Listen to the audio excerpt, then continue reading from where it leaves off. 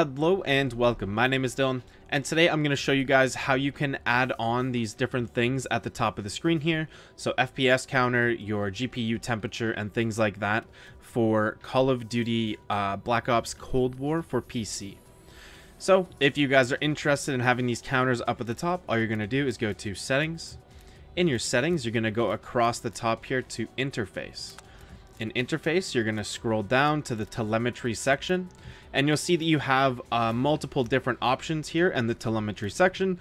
The most common ones would be FPS counter and GPU temperature.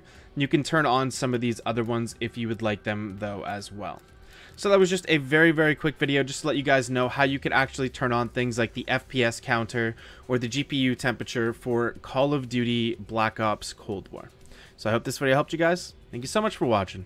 Have a great day, everybody.